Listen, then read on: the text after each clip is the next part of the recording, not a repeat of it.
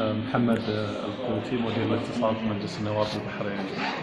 طبعا تمثل هذه الزيارة أحد ثمار الشراكة بين المجلسين واللي تأتي انسجاما مع نظرة واستراتيجية تعاون مشترك بين البلدين وبين القيادتين الحكوميتين في البلدين الشقيقين.